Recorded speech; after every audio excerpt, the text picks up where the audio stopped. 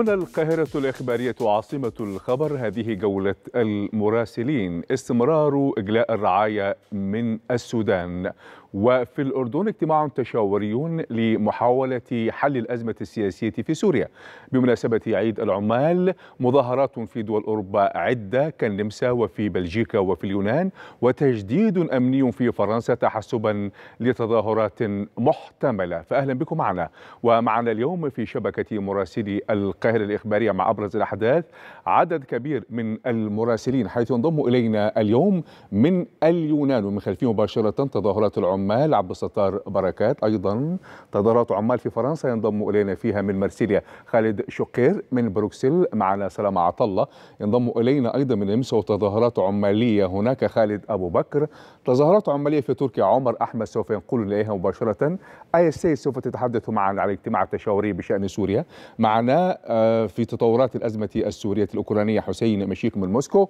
أحمد سنجاب معنا من بيروت بلبنان ومعنا أيضا من القاهرة أو من مصر معبر أرقين بالتحديد أو معبر قصر بالتحديد مصطفى عبد الفتاح مراسل القاهرة الإخبارية. نرحب بكل مراسلي القاهرة الإخبارية لهذا اليوم. أعلنت مصر أن خطة إجلاء رعاياها المتواجدين في السودان أسفرت عن إجلاء 6960 مواطنا مصريا حتى الآن. وقد قال المتحدث الرسمي باسم وزارة الخارجية المصرية السفير أحمد أبو زيد إن جهود الدولة يومي التاسع والعشرين والثلاثين من إبريل نجحت في إعادة 561 مواطنا مصريا بالسودان من خلال المعابر البرية فيما بين البلدين.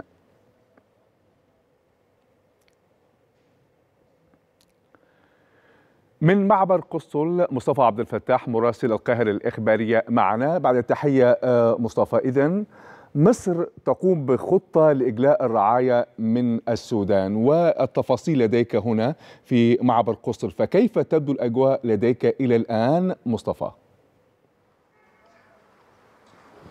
يعني بالفعل هي خطة منظمة بها الدولة المصرية في إجلاء رعايا الدول المختلفة عبر المعابر البرية على الحدود السودانية. هذا بالإضافة أيضا إلى وجود عدد من ممثلي القنصليات الذين تواجدوا خلال الساعات الماضية لهذا اليوم وذلك انتظار لوصول رعايا الدول الخاصة بهم.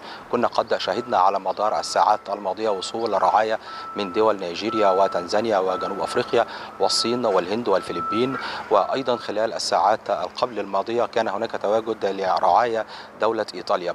الجمهورية الدولة المصرية عملت خلال هذه الفترة على التعاون مع كل دول العالم من أجل إجلاء رعاياها من الأراضي السودانية وهذا هو ما يؤكد نجاح الدبلوماسية المصرية في التعاون مع دول العالم المختلفة لإجلاء رعاياها وتسهيلات عديدة تقدمها الدولة المصرية من خلال المعابر البرية. نحن نتحدث من معبر قسطل البري الواقع على على الحدود المصرية السودانية وهذا المعبر الذي يعمل على مدار الساعة ويقدم كل الخدمات سواء التسهيلات الإدارية المتعلقة بإنهاء كافة إجراءات دخول الدولة المصرية حسب ووفقا للتعليمات والإرشادات المتعارف عليها ما بين مصر ودول العالم المختلفة.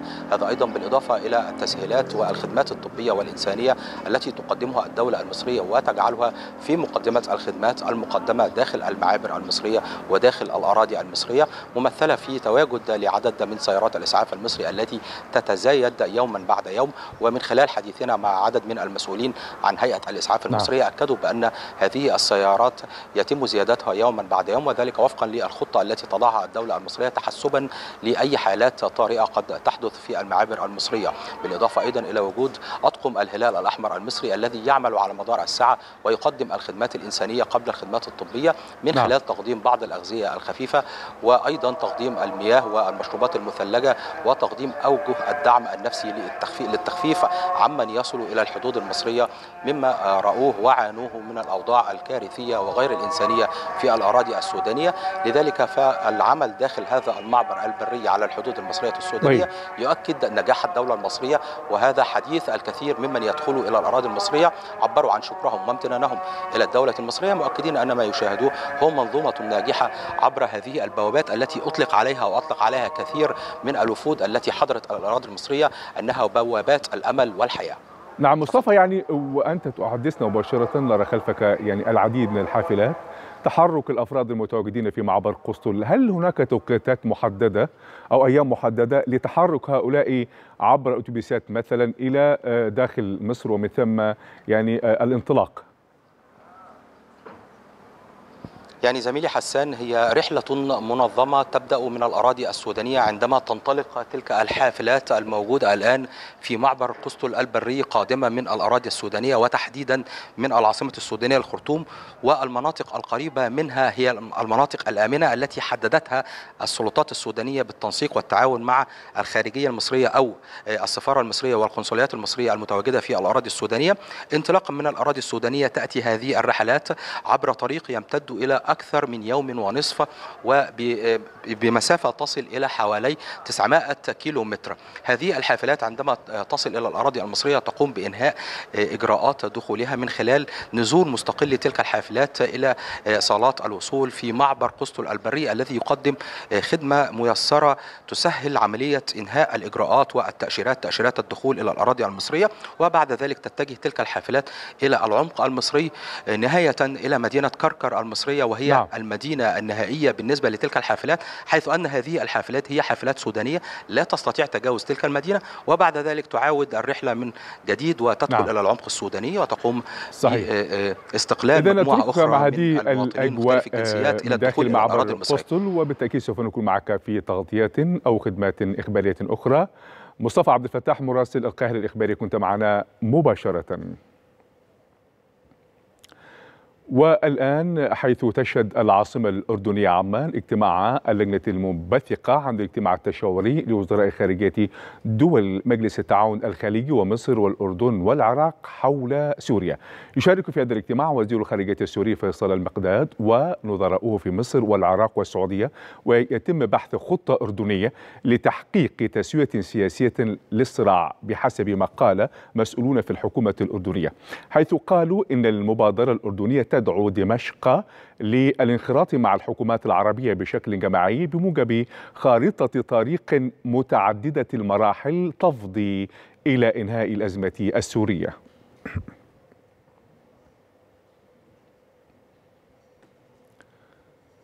وقبل ذلك عقد وزير الخارجية الأردني أيمن الصفدي اجتماعا ثنائيا مع نظيره السوري فيصل المقداد. ناقش الوزيران الجهود المبذولة لإطلاق دور عربي قيادي للتوصل لحل سياسي للأزمة السورية بناء على المبادرة الأردنية والأطروحات العربية الأخرى.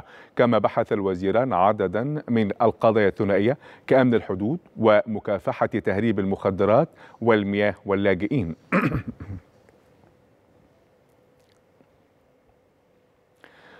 حول هذا الاجتماع التشاوري من عمان مراسلة القاهرة الإخبارية آية سيد معنا مباشرة. بعد تحية آية إذا هذا الاجتماع التشاوري يبدو أنه اجتماعا مهما. فكيف تبدو التفاصيل وخاصة فيما يتعلق لبحث عودة دمشق إلى الجامعة العربية؟ آية. نعم تحياتي حس حقيقة. الاجتماع بدأ تقريبا قبل قبل ساعة ونصف. كان هناك كما أنت قلت كان هناك مباحثات ثنائية ما بين وزير الخارجية الأردني ونظيره السوري. يعني يجد المراقبين السياسيين أن هذا الاجتماع مهم جدا خاصة بأنه يأتي قبيل القمة العربية التي ستعقد الشهر الجاري في الرياض. فبالتالي من الممكن أن يكون هناك مشاورات من أجل عودة سوريا إلى جامعه الدول العربية وأن يكون لها دور عربي كالسابق خاصة بعد قطيعه جاءت لأكثر من عشر سنوات.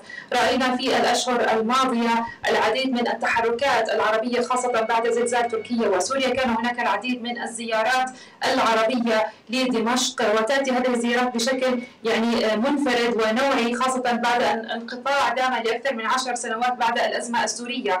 اليوم الأردن من خلال المبادرة الأردنية إلى جانب مصر والعراق والسعوديه يؤكد على أنه لابد من أن يكون هناك دور مهم لسوريا على الخارطة العربية ومن المنطلق ليس فقط السياسي يا حساني ولكن أيضا من منطلق اقتصادي خاصة عندما ناقش وزير الخارجية الأردني أيمن الصفدي مع نظيره السوري موضوع اللاجئين السوريين وأيضا مشكلة المياه وأيضا مشكلة تهريب المخدرات على الحدود الأردنية السورية. العديد من الملفات التي تأتي بنودها ضمن عنوان الأزمة السورية إن كان داخليا أو خارجيا تناقش اليوم في الاجتماع هذا التشاوري. ومن المتوقع أو من المؤكد أنه سيكون هناك توصيات في نهاية هذا الاجتماع المغلق. نعم لكن أي يعني قبل هذا الاجتماع التشاوري وزير الخارجيه الأردني ايمن الصفدي عقد أيضا اجتماع ثنائي مع نظيره السوري فيصل المقداد. ترى ماذا دار في هذا الاجتماع؟ هل كان أيضا الاجتماع ينصب حول يعني الاجتماع بشأن عودة السوري أم قضايا وملفات أخرى؟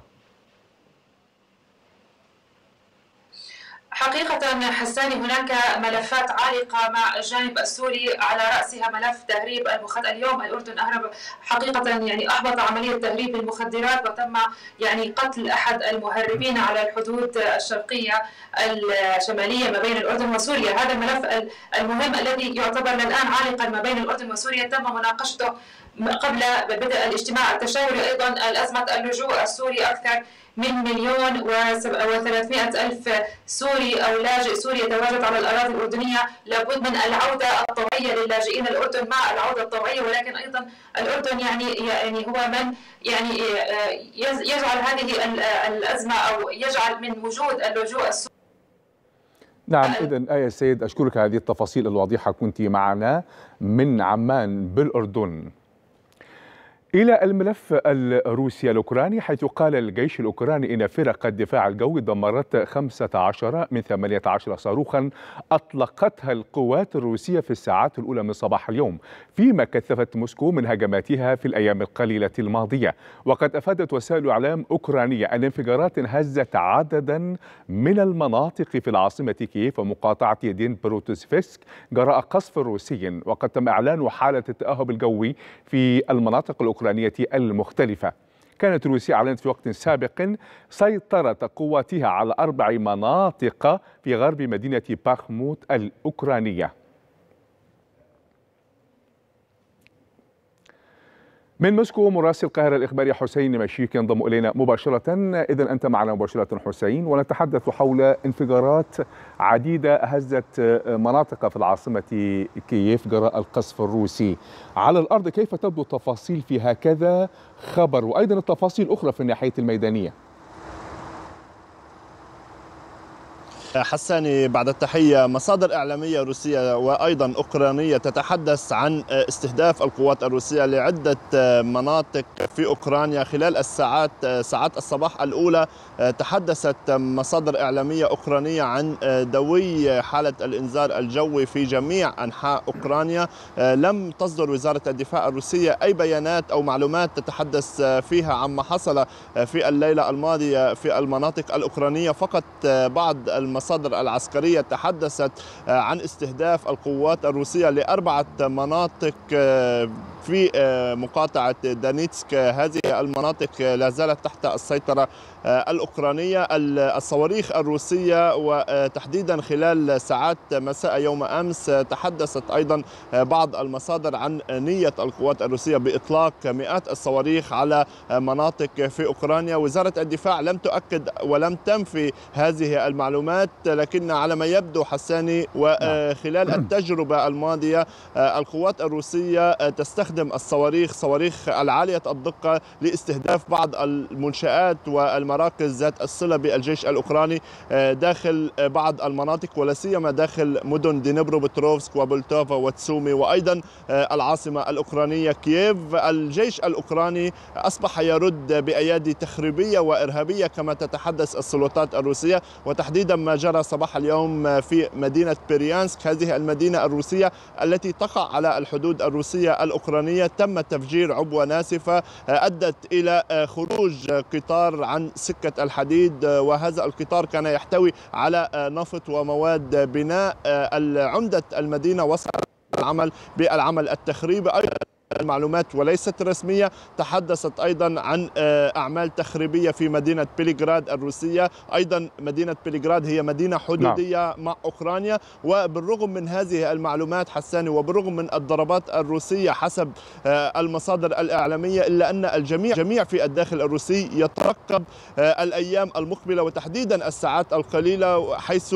أكد يفغيني بريغوجين قائد مجموعة فاغنر عن نية القوات الأوكرانية شن هجوم مضاد على المناطق الروسية خلال الساعات القليلة المقبلة. بعض الخبراء أكدوا هذه المعلومة والبعض طيب. الآخر ينفي ويؤكد على أن الجيش الأوكراني بعد معركة باخموت ليس لديه القدرة علشان مع قتال مضاد تجاه الجيش الروسي. إذا باخموت هذه التي يعني الأنظار الجانبين الروس والأوكراني تتجه إلى باخموت لأنها مدينة استراتيجية طبعا كما هو معروف يعني. إلى أي مدى وصلت الأوضاع حول مدينة باخموت وخاصة في محاولة سيطرة القوات الروسية عليها.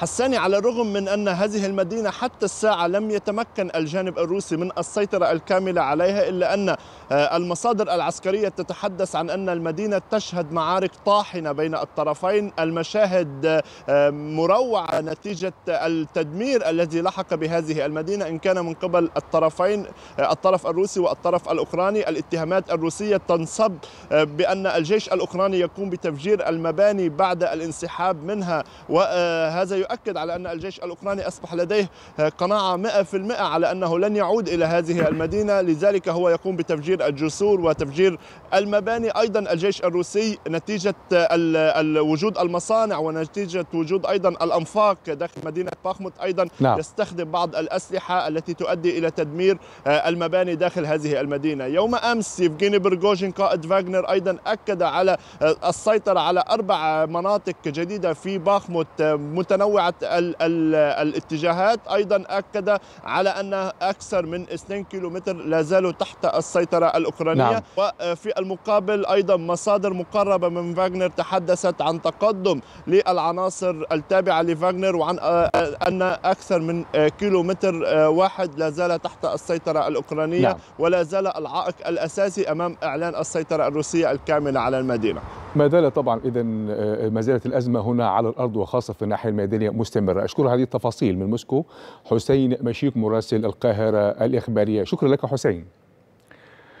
إذا تأهب أمني تحسبا لتظاهرات قوية فيما يبدو لأن الشرطة الفرنسية أعلنت استخدامها الطائرات بدون طيار لأول مرة لمراقبة المظاهرات التي تتزامن مع فعاليات يوم العمال في الأول من مايو. أعلن وزير الداخلية الفرنسي جيرالد دارمانا انتشار 12 ألف شرطي يشاركون في توفير الأمن في أنحاء البلاد منهم خمسة ألاف بالعاصمة الفرنسية باريس للتعامل مع المظاهرات التي يشارك فيها ما يقترب من 500 ألف و 650 ألف بحسب الاستخبارات الداخلية.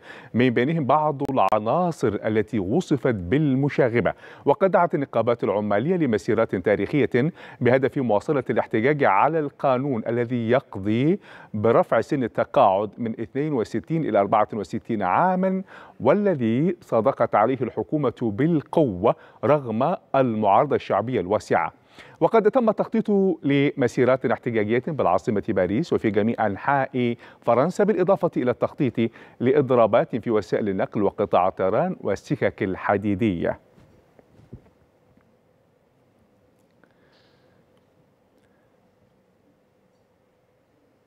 من مرسيليا انضم إلينا مراسل القاهرة الإخبارية خالد شقير مباشرة. بعد التحية خالد اذا عدد كبير فيما يبدو سوف يشارك في هذه التظاهرات المرتقبة يعني من 500 ألف إلى 650 ألف عدد ضخم طبعا. فكيف إذا تبدو التفاصيل وأيضا التجديدات الأمنية المقابلة؟ لأن العدد من خلفك مباشرة يبدو كبيرا وفي تزايد خالد. نعم حساني بعد التحية يبدو أن الفيدراليات العمالية ستنجح بتواجد أكثر من مليون متظاهر على كامل التراب الفرنسي في حوالي 300 تظاهرة تم أخذ الموافقة عليها. حساني الأمر يبدو اليوم كبير وحاشد من قبل الفيدراليات العمالية. الأول من مايو جرت العادة أن يخرج في فرنسا ما بين 100 ألف و 150 ألف على كامل التراب الفرنسي. الاستخبارات الداخلية أكدت على تواجد ما يقرب من 500 ألف و 650 ألف متظاهر ولكن يبدو حساني حتى اللحظة أن الأعداد يمكن أن تفوق هذا التوقع وتصل بالفعل إلى أكثر من مليون متظاهر فرنسي على كامل التراب الفرنسي الجدير بالذكر أن جيرالد دارمانا وزير الداخلية الفرنسي أعلن عن توفير 12 ألف جندي ودركي من بينهم 5000 في العاصمة الفرنسية باريس وحدها نعم. واستخدام الطائرات بدون طيار أو الدرون لنقل والإشراف على ما يحدث على الأرض لأول مرة وسط رفض بعض من المدن منها مدينة لوهافر خمس مدن سمحت بهذه الطائرات من بينها باريس وليون وبوردو ونانت وغيرها من المدن الفرنسية. ليس على كامل التراب الفرنسي ولكن في هذه الدول التي ذكرتها. نعم إلى ماذا يخطط هؤلاء ال- المتظاهرون؟ وخاصة عندما تزداد هذه الأعداد كما تحدثت خالد هل هناك تخطيط مثل لتوقف حركة النقل شلل في السكك الحديدية أم ماذا؟ الحقيقة يعني حساني هو الهدف هو إرسال رسالة للرئيس الفرنسي إيمانويل ماكرون بأن هذا المشروع مشروع قانون التقاعد آه، آه، أنهم أو الأغلبية من الفرنسيين والفيدراليات العمالية التي رفضت استخدام القوة وبعد من أعمال العنف التي تظهر هنا وهناك على لسان لوران بورجي وهو آه، رئيس الاتحاد الديمقراطي للشغل ال CFDT والذي أعلن عن رفضه لبعض من هذه العمليات عمليات التكسير والتحطيم لواجهات المحلات. وبالفعل قامت أيضا هناك الكثير من نقابات العمل بإعلان الإضرابات وبصفة خاصة في مجال الطيران حيث أن هناك إضرابات في مطار أورلي وشارل ديغول وأيضا مطارات مارسيليا وتولوز. وغيرها من بعض المطارات المتواجدة واضرابات أيضا في قطاع العمل وقطاع الكهرباء. اذا نحن أمام أعداد كبيرة وغفيرة في هذه التظاهره للمزيد من الطلبات الخاصة بالعمل والعمال. وهذا ما أعلنه اوليفيه دوسوبت وزير العمل الفرنسي بأنه الحكومة الفرنسية ستدعو للحوار مع النقابات العمالية التي بدات بدأت من بينها بعض النقابات. توافق إلا أن ال CGT أعلنت رفضها عن الدخول في مثل هذه الحوارات مع الحكومة الفرنسية. إذا سوف نرى ما سوف يمكن أن يحدث في الساعات القادمة لأن العدد فيما يبدو طبعا خلفك.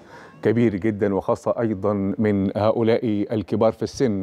إلى لبنان حيث حيا رئيس حكومة تصريف الأعمال نجيب ميقات العمال في عيدهم وأشار إلى أن الإجراءات الأخيرة ليس سوى القليل مما يستحقونه. وقال أن الحكومة تقدر الظروف الصعبة والتضحيات التي يبذلها العمال في سبيل الحفاظ على كيان الدولة ومؤسساتها وإداراتها.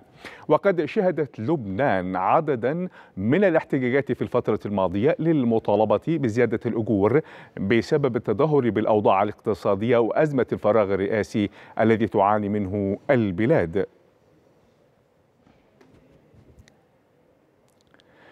من بيروت مراسل القاهرة الإخباري أحمد سنجاب معنا مباشرة. بعد التحية أحمد إذن في لبنان رئيس حكومة تصريف الأعمال يتحدث على الإجراءات الأخيرة للعمال. يعني وقال إنها وصفها أنها يعني ليس سوى قليل مما يستحقه هؤلاء العمال. فكيف تبدو التفاصيل في هذا في ظل أوضاع اقتصادية صعبة تعيشها لبنان؟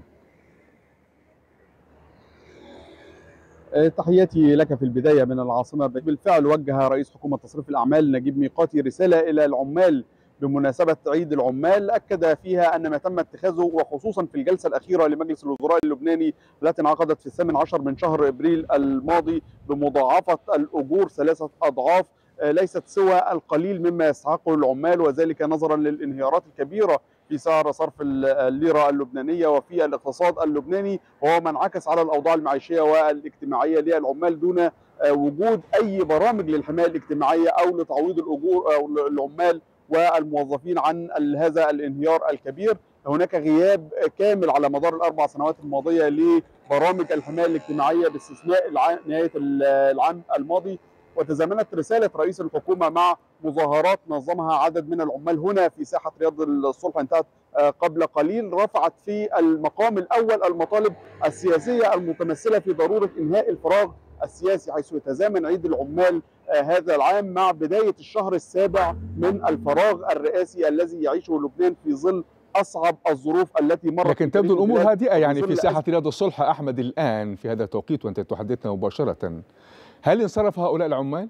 بالتأكيد انتهت بالتأكيد انتهت قبل قليل وخصوصا بعد حدوث اشتباكات بين عدد من المتظاهرين حول مطالب سياسية تتعلق بكيفية معاملة اللاجئين السوريين على الأراضي اللبنانية فحدثت الاشتباكات فانصرف قطاع كبير جدا من المتظاهرين وتدخلت قوات الأمن لفض هذا الاشتباك ولكن عاد الهدوء مرة أخرى إلى ساحة رياض الصلح وبدت خالية تماما من جميع المظاهرات التي كانت متواجدة من الساعة التاسعة صباح اليوم. ولكن المطالب في المقام الأول هي مطالب سياسية متعلقة بإنهاء الفراغ الرئاسي الذي يعرقل أيضا عمل الحكومة لكون الحكومة حكومة تصريف أعمال أيضا عودة جلسات مجلس النواب المخصصة لانتخاب رئيس جديد للبلاد التوافق السياسي بين القوى السياسية المؤدي إلى وصول رئيس للبلاد نعم. وإنهاء الفراغ الرئاسي أيضا فكرة ألغاء الطائفية التي تحكم السياسة اللبنانية وتخصيص مقاعد بعينها إلى نواب أو إلى موظفين وفقا لطوائفهم هذه هي المطالب الأساسية لتحركات العمال اليوم في بيروت. يعني اذا انصراف العمال بهدوء أو الذين نظموا هذه الوقفة في ساحة رياض الصلح في بيروت كما تحدث أحمد، اذا هل ثمة رسائل معينة كانوا يودوا أن يوجهوها للحكومة وبالتالي وصلت هذه الرسائل إليهم وانصرفوا بعد ذلك، وماذا عن التعامل الأمني مع هؤلاء الذين كانوا متواجدين في الساحة؟ فيما يتعلق بالرسائل كانت هناك رسائل واضحة ومباشرة، الرسائل الأولى هي رسائل سياسية تتعلق بضرورة إنهاء الفراغ السياسي الذي لن يحدث إلا بتوافق القوى السياسية والفرقاء السياسيين داخل لبنان، فكانت هناك دعوة شديدة لضرورة أحداث هذا التوافق وانتخاب رئيس جديد للبلاد، الرسالة الأخرى هي رسالة اقتصادية تتعلق بأن ما قدمته الحكومة على مدار الشهور الماضية وخصوصا في جلستها الأخيرة المنعقدة في الثامن عشر من شهر إبريل ليس سوى القليل مما يستحقه العمال وهي مجرد زيادات لا تتناسب مع ما حدث من انهيار كبير للعملة اللبنانية على مدار السنوات الأربع انخفض سعر صرف العملة اللبنانية من 1500 ليرة للدولار الواحد حتى وصلت الآن إلى ما يناهز ال 100000 ليرة للدولار الواحد. أما فيما يتعلق بالتعامل الأمني كان هناك استنفارا أمنيا قويا في كافة الشوارع المحيطة بساحة رياض الصلح وخصوصا أنها ساحة تجمع مداخل مجلس مقر مجلس الوزراء اللبناني كما يظهر نعم. خلفي في الصورة وأيضا على اليسار مدخل مجلس النواب اللبناني وعدد من الوزارات من بينها وزارة الخارجية ووزاره الاقتصاد وعدد من المقرات الرئيسية للبنوك سواء البنوك العاملة في لبنان أو البنوك الأجنبية فبالتالي كان هناك استنفارا امنيا من القوى الأمنية والجيش اللبناني وتمكنوا من وضع سياج حديدي وسياج من الأسلاك الشائكة تحول دون وصول نعم. أي من المتظاهرين لهذه المقرات وأيضا جدير بالذكر أن المتظاهرين أنفسهم لم يكن هناك أي محاولات لتجاوز هذه الأسلاك أو تجاوز هذه السياجات الأمنية. وأنت تحدثنا من ساحة رياض الصلح مباشرة من بيروت نعرض أيضا على الجانب الآخر يعني جزءا من تظاهرات هؤلاء الذين انصرفوا منذ قليل في هذه الساحة أشكرك من بيروت بالتحديد في ساحة رياض الصلح أحمد سنجاب مراسل القاهرة الاخباريه كنت معنا مباشرة العديد من الدول تحتفل بعيد العمال في الأول من مايو باعتباره يوما للمطالبة بحقوق العمال من خلال تجمعات مسيرات وأيضا أحداث أخرى.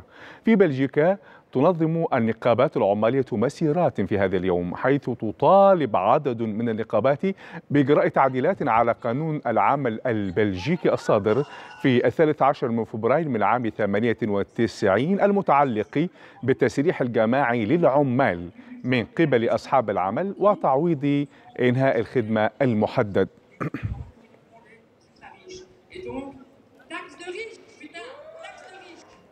التفاصيل تأتينا من بروكسل مع مراسل القاهرة الإخبارية سلامة عطلة مباشرة بعد التحية سلامة. إذا نقابات العمال طبعا تنظم مسيرات احتجاجية بمناسبة عيد العمال في أكثر من دولة أوروبية. فكيف يمكن أن تحدثنا عن هذه المسيرات؟ والرسائل التي يمكن أن توجه لأن خلفك مباشرة نرى أيضا أعلام مسيرة لبعض العمال. مساء الخير حساني هذه واحدة من التجمعات التي انطلقت في بروكسل للاحتفال بعيد العمال والضغط على الحكومة لاتخاذ بعض القرارات بهذا الشأن. هذا العام يأخذ زخما كبيرا نتيجة الظروف الاقتصادية الصعبة في أوروبا. استمعت للكثير من الخطابات التي ألقيت خلال عدد من الفعاليات في هذا اليوم. أغلبها يشير إلى ضرورة فرض ضرائب على الأغنياء لأنه حساني خلال هذه الأزمة اتخذت الكثير من الشركات الكبرى حيتان السوق إجراءات تحت حجة أن هناك تضخم. يقولون بأن التضخم هو تضخم الجشع وبأن هذه الشركات حققت أرباح كبيرة تحت عنوان التضخم وتحت تحت عنوان اختلال سلاسل التوريد. لذلك هم يرون بأن هؤلاء يتفلتون من القوانين الأوروبية التي يفترض بأنها تحمي حقوق العمال وبأنها يعني تحافظ على ما تم اكتسابه خلال عقود بل وقرون مضت من الكفاح العمالي في الوصول إلى نوع من العدالة الاجتماعية. يتهمون هذه الشركات الكبرى بالتحايل على القانون بالتغول على حقوق العمال تحت عناوين ليست حقيقية وإنما يعني هي مجرد ذرائع لسلوك هذه السياسات التي تؤثر بشكل كبير على العمال، العمال الذين يدفعون ثمن هذه الفاتورة، يدفعون ثمن فاتورة الحرب في أوكرانيا، يدفعون ثمن سياسات التقشف الحكومية، يرفعون يدفعون ثمن أيضا معركة رفع السن التقاعدي والتي توصف بأنها غير ديمقراطية لأن هناك أيضا ليس الموضوع فقط في فرنسا وإنما هنا أيضا في بلجيكا هناك قانون لرفع سن التقاعد إلى 67 عام في عام 2030 وهذا يعني بأن الحكومات تحاول أن تعدل ميزانياتها على حساب أعمار الناس. هناك الكثير من المطالبات بما في ذلك نعم. موضوع الدعم الحكومي للجهات الأكثر فقرا والأكثر حاجة هناك سياسات أو برامج كانت مؤقتة لدعم بعض الأسر خلال أزمة كورونا وأول أزمة أوكرانيا ولكن الآن تراجع راجعت هذه الحكومات عن هذه الدعم الحزم من المساعدات وبرامج المساعدات نعم. القصيرة وهذا أيضا يثير غضب العمال الذين يدفعون الثمن. إذا هي رسائل كثيرة يوجهها العمال في عيدهم الذي يصادف هذا اليوم نتركك مع هذه الأجواء الحماسية وهذه المظاهرة. من بروكسل كنت معنا سلام الله مراسل القاهرة الإخباري أشكرك سلامة. إلى اليونان حيث تنظم النقابات والاتحادات العمالية إضرابا عاما اليوم لمدة 24 ساعة بمناسبة الاحتفال بعيد العمال. اليونان شهدت عددا من الاحتجاجات العمالية بسبب ارتفاع الأسعار والمطالبة بإصلاح نظام الأجور ما تسبب في اضطرابات بوسائل النقل والمدارس والمستشفيات العامة وغيرها من الخدمات العامة.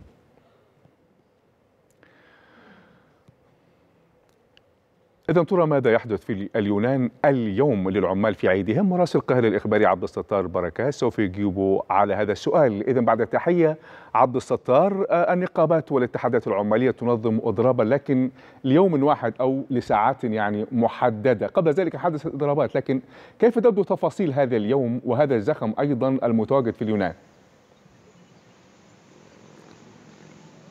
نعم حساني بعد التحية. المعتاد هنا في اليونان يوم عيد العمال يكون هناك إضراب عام وتظاهرات ضخمة.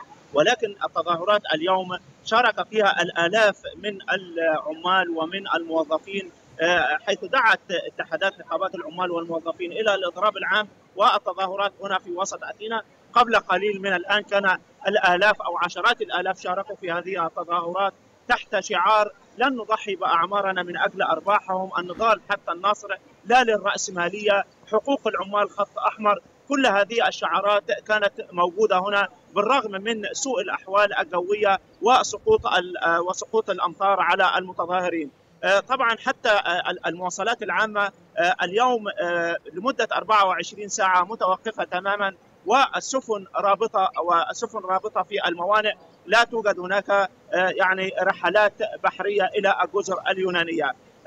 في هذا اليوم يتم تنظيم هذه التظاهرات في عدة أماكن في اليونان ليس فقط هنا في العاصمة أثينا ولكن في ثessalونيكي شمال البلاد وفي عدد من المدن الأخرى. المخاوف الحالية الآن من الشرطة يعني هناك مراقبة تامة من قبل قوات الأمن اليونانية والشرطة وتخوف من أن تكون هناك مواجهات وصدامات قبل قليل كان هناك في آخر التظاهرة نحو 200 شاب ملثمين يرتدون الخوذات ومجهزين نفسيا للتصادم مع الشرطة ولكن كانت قوات الأمن بجانبهم. نحن الآن بانتظار أن تكون هناك مواجهات أم لا.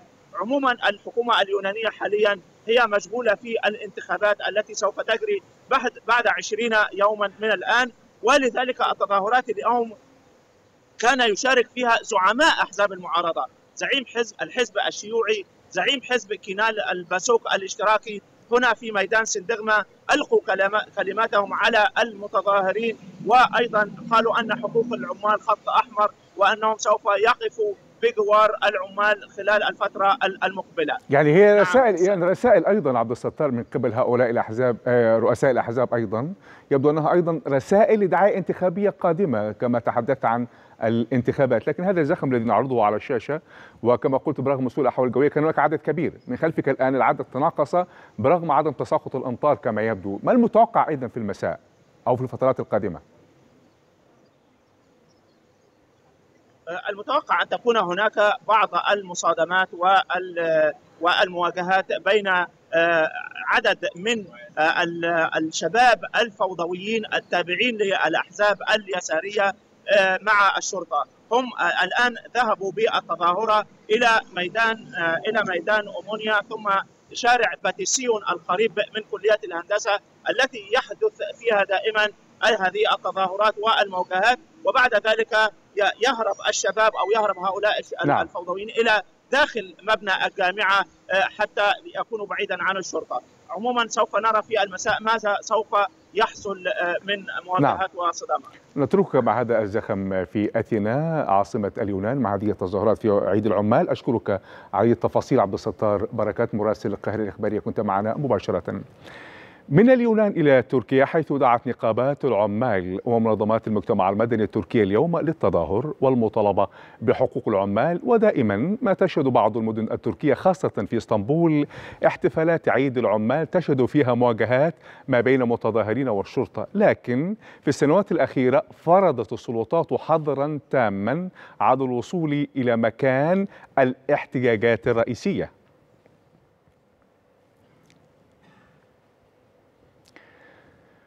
في أنقرة يتواجد مراسل القاهرة الإخباري عمر أحمد لكي يحدثنا حول التفاصيل. بعد التحية عمر أيضا. هنا نقابات العمال منظمات المجتمع المدني في تركيا تدعو للتظاهر. كما نرى خلفك مجموعة من المتظاهرين يحملون الأعلام. فكيف تبدو تفاصيل هذه التظاهرة اليوم؟ نعم بعد التحية بالفعل عيد العمال في تركيا خصوصا في السنوات الأخيرة اكتسب طابعا معارضا في الحقيقة. هنا يجتمع أحزاب سياسية منظمات مجتمع مدني نقابات عمال كلهم يطالبون بتحقيق العدالة يطالبون طبعا تحقيق تخفيض معدلات التضخم. الحالة الاقتصادية الموجودة في البلاد هي التي تفرض نفسها حاليا حقيقه في هذه المظاهرات. هنا مختلف الأحزاب السياسية المعارضة حقيقه وكذلك منظمات المجتمع المدني يقومون بالاحتفال بعيد العمال إلى جانب مطالباتهم طبعا تسليم حقوق العمال. نحن نتحدث في تركيا عن أن معدلات التضخم مرتفعة جدا. في تركيا الكثير من النقابات تقول أن الشعب التركي تم افقاره عبر السياسات الاقتصادية. المتبعه وصل حد الفقر أو حد الجوع إلى في تركيا إلى أكثر من الحد الأدنى للأجور تجاوز الحد الأدنى للأجور. معدل الفقر في تركيا أصبح رقما كبيرا جدا في تركيا. لا يمكن الوصول إليه بسهولة. لذلك هناك مطالبات بالفعل مطالبات كبيرة ولكن كما يعلم الجميع تركيا بعد أسبوعين أمامها انتخابات مهمة جدا فلذلك هنا معظم إن كان المواطنين الأتراك أو مسؤولين منظمات المجتمع المدني التي تحدثنا نعم. إليها يقولون بأن القرار التركي سوف يكون في صندوق الاقتراع بعد أسبوعين وبالتالي كل هذه الاحتفالات هي احتفالات يقولون بأنها مبدئية وتبشر بالتغيير الذي سوف يحصل نعم. بقولهم بهم في الرابع عشر من مايو يعني غالبا ما كانت تشهد مثل هكذا تظاهرات وخاصة الكبيرة طبعا عمر وخاصة في إسطنبول مواجهات ما بين الشرطة والمتظاهرين. ماذا عن يعني التوقع اليوم من خلال هذه المواجهات وخاصة أن الأعداد من خلفك تبدو كبيرة؟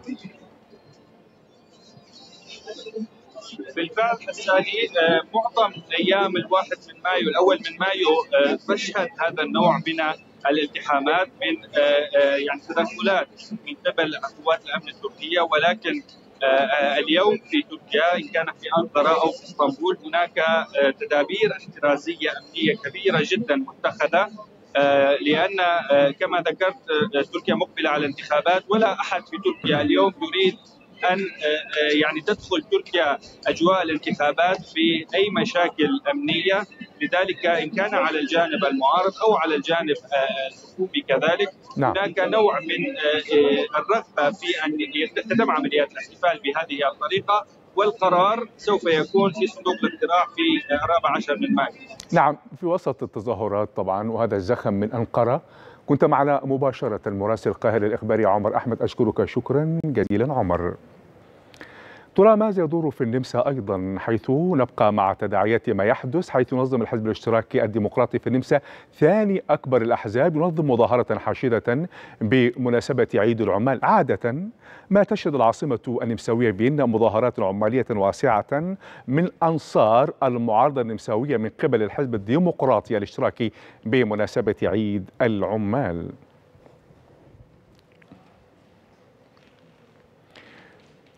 إذا كيف تبدو هذه التظاهرات؟ خالد أبو بكر مراسل القاهرة الإخبارية معنا مباشرة ينقل لنا الصورة هناك. بعد التحية خالد إذا الحزب الاشتراكي النمساوي كما هو على شاشة القاهرة الإخبارية ينظم مظاهرة حاشدة، كيف تبدو التفاصيل في هذه المظاهرة؟ وأيضا يعني صف لنا الأعداد المتواجدة، هل هي أعداد كبيرة أم أعداد يعني معتادة؟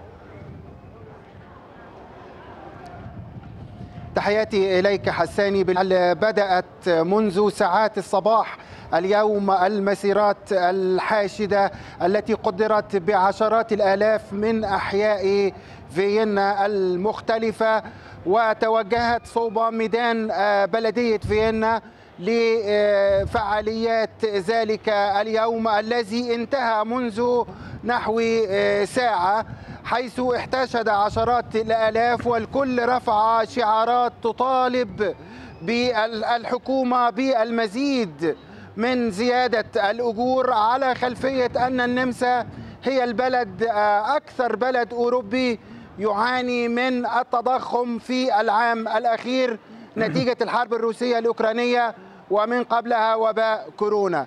الشعارات كلها كانت تدور حول أن الغذاء سعره مرتفع جدا الطاقة سعرها مرتفع كذلك التدفئة وأن الشيء الوحيد الذي الذي هو متدني هي الأجور. وعلى هذه الشعارات تحدثت رئيسة الحزب الاشتراكي الاجتماعي باميلا فاغنر مطالبة الحكومة بفرض المزيد من الضرائب على الثروة لأن الهوة من وجهة نظرها تتسع بين الأغنياء والفقراء في نعم. العامين الأخيرين كيف إذا وصلت هذه الرسائل يعني كيف إذا وصلت هذه الرسائل للمسؤولين في الحكومة يعني من خلال هذه التظاهرات الحشيدة التي وصفتها خالد يعني هل تصل بصورة جيدة أم أنهم يتجاهلون مثل هكذا رسائل؟ لا الحقيقة الأحزاب كافة سواء كانت في السلطة أو في المعارضة تهتم بمسألة التضخم خصوصا أن النمسا مقبلة على موسم انتخابات في العام القادم. وهناك أحاديث كبيرة تدور حول إمكانية الاندفاع إلى انتخابات مبكرة على خلفية تردي الأوضاع المعيشية الناتجة عن التضخم والتي كشف عنها استطلاع للرأي نشرته صحيفة كورير. بالأمس تحدث عن أن ثلثي الشعب النمساوي يعاني اقتصاديا جراء ذلك التضخم. هناك أيضا نقابات عمالية تتهم الحكومة بأنها لا تعمل جديا على إزالة تلك الآثار السلبية الجاثمة على صدورهم وعلى جيوبهم. أيضا. يعني إذا تحولت هذه التظاهرات تحولت هذه التظاهرات إلى تلاسن وتشابك فيما بين أحزاب المعارضة وخاص بالحزب الاشتراكي الرئيس وما بين الحكومة في نفس الوقت. نعم بالفعل حساني تحولت إلى تلاسن حيث أعلنت رئيسة الحزب الاشتراكي الديمقراطي التي هو أكبر أحزاب المعارضة بأن بأنها ستعمل على أن يكون حزبها هو الذي يشكل الحكومة المقبلة لأن ذلك سيعطي أملا كبيرا نعم. للشعب النمساوي لاجتياز تلك الحقبة التي ترى أن الأغنياء فيها يزدادون غنى والفقراء يزدادون فقرا نعم. وطالبت الحكومة بأن تعمل لمصلحة أغلبية الشعب النمساوي لا لمصلحة الأغنياء صحيح. وحدهم إذا في عيد العمال أشكرك نتركك مع هذا. الزخم في المظاهرات الحشدة كما قلت إذن. خالد أبو بكر مراسل القاهرة الإخبارية من فيينا كنت معنا مباشرة. نبتعد قليلا عن ملف عيد العمال. نتوجه إلى لندن في بريطانيا حيث تتواصل أصداء استقالة رئيس هيئة الإذاعة البريطانية ريتشارد شارب بعد تحقيق أفاد أنه انتهك القواعد لعدم الإفصاح عن دوره في ترتيب قرض خاص لبوريس جونسون الذي كان رئيسا للوزراء في هذا الوقت. وقد نشرت صحيفة الجارديان تحقيقا بعنوان من هو ريتشارد شارب ولماذا يترك البي بي سي؟ أشارت الصحيفة إلى أن صحيفة سانداي تايمز كشفت في وقت سابق أن شارب ساعد سرا أحد معارفه الذي أراد تقديم ضمان قرض شخصي لجونسون في الفترة التي كان ريتشارد شارب يتقدم فيها لمنصب رئيس البي بي سي.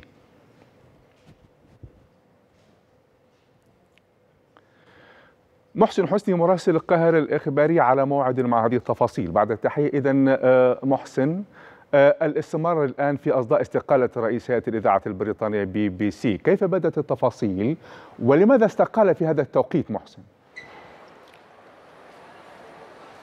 نعم مرحبا حساني. آه، ريتشارد شارب استقال بعد يعني آه، عدد من التقارير الصحفية التي نشرت لكشف آه، أسرار جديدة لم يكن يعلمها الشعب البريطاني وهي العلاقة ال- ال- التي تربط بين ريتشارد شارب ورئيس الوزراء الأسبق بوريس جونسون وتحديدا فيما يتعلق بالقرض الذي حصل عليه بوريس جونسون وقيمته 800 ألف جنيه استرليني. ريتشارد شارب لعب دورا كبيرا من أجل حصول بوريس جونسون على هذا القرض. بأن أوصله ل يعني أحد ال- ال- ال- الأرستقراطيين الكبار كضامن لبوريس جونسون من أجل حصوله على هذا القرض والمعروف عن ريتشارد شارب أنه ينتمي للطبقة الأرستقراطية ولديه علاقات واسعة مع أصحاب الأموال والمليونيرات ال- في- بريطانيا وخارجها أيضا. آه، بالتالي هذا هذه الواقعة تعود إلى عام 2020 آه، وهذه التسهيلات التي قدمها ريتشارد شارب آه، لرئيس الوزراء الأسبق بوريس جونسون آه، آه، سبقت آه، تزكية آه، جونسون لريتشارد شارب من أجل توليه هذا المنصب. سبقت ذلك بحوالي ثلاثة أسابيع وهو ما يعني شبهة فساد بين الطرفين. وعلى إثر هذا آه، تقدم ريتشارد شارب باستقالته آه، من منصبه كرئيس البريطانيه آه، و- وكان ينبغي أن يستمر في هذا المنصب إلى عام 2025 ولكن بعدما بدأت التحقيقات واعترف الجانبين بثبوت هذه الواقعة آه، سوف يعني آه، أدى ذلك إلى استقالة ريتشارد شارب ولكنه سيستمر في المنصب فقط حتى آه، نهاية يونيو المقبل آه، من أجل تعيين لحين تعيين آه، شخص آخر جديد في منصبه. الأهم من ذلك أن المعارضة البريطانية استغلت هذا الموقف وقالت أن هذه سقطة جديدة تضاف إلى السقطات السابقة آه، لحزب المحافظين ولحكومة حزب المحافظين وتضاف إلى وقائع فساد سابقة آه، كثيرة تورط فيها جونسون نفسه ودومينيك راب نائب رئيس الوزراء في ذلك الحين. وغيرهم كثيرين ممن تورطوا في آه، وقائع فساد. آه، كل هذا آه، يخصم من رصيد يعني حكومة حزب المحافظين لدى الشارع البريطاني. وهذا ما تعكسه استطلاعات الرأي الآن والتي تؤكد أن شعبية حزب العمال ارتفعت بشكل كبير وأن أي انتخابات قادمة سوف تكون هناك فرص أكبر لنجاح حزب العمال. يعني بسبب آه، خصم نعم. رصيد شعبية إذا حزب يعني يعني مثل ما حدث وقائع محسن الفساد المتكرر. يؤثر على يعني مسيرة الانتخابات القادمة والمرشحين أيضا وخاصة من قبل الحكومة. إذا أشكرك على التفاصيل الواضحة. كنت معنا من لندن فيها مراسل القاهرة الإخبارية محسن حسني. أشكرك شكرا جزيلا. إذا اليوم كان عيد العمال وكانت هناك تظاهرات حاشدة ومتعددة في أكثر من عاصمة من عواصم الدول الأوروبية تابعناها من خلال شبكة مراسلي القاهرة الإخبارية أيضا مع تفاصيل وأحداث أخرى تابعناها اليوم. نشكر كل من كانوا معنا في شبكة مراسلي القاهرة الإخبارية في جولة المراسلين. كان معنا اليوم ونشكرهم من أثينا اليونان عبد الستار بركات من مرسيليا في فرنسا خالد شقير. كان معنا من لندن حول استقالة رئيس بي بي سي محسن حسني. كان معنا أيضا خالد أبو بكر من فيينا. عمر أحمد من انقره بتركيا كانت معنا آية سيد من عمان حول الاجتماع بشأن سوريا. معنا أيضا حول الازمه الروسيه الأوكرانية حسين مشيك. كان معنا مباشره من موسكو. أحمد سنجاب بمناسبة عيد العمال كان معنا من بيروت. كان معنا من معبر قسطل حول عودة اللاجئين المصريين إلى المعبر مصطفى عبد الفتاح. أشكر كل مراسلي القاهرة الإخبارية الذين كانوا معنا اليوم. لمزيد من المتابعة يمكنكم زيارة موقعنا الإلكتروني القاهرة news dot net يمكنكم متابعتنا على منصات التواصل الاجتماعي المختلفة فيسبوك تويتر انستغرام يوتيوب يمكنكم متابعة القاهرة الإخبارية على تردد vertical 11747 يمكنكم أيضا تحميل تطبيق القاهرة الإخبارية من خلال Apple Store أو Google Play أو من خلال ال QR code الظاهر على الشاشة أمامكم. وكل عام وكل العمال بخير بمناسبة عيد العمال. هنا القاهرة الإخبارية عاصمة الخبر. إلى ملتقى.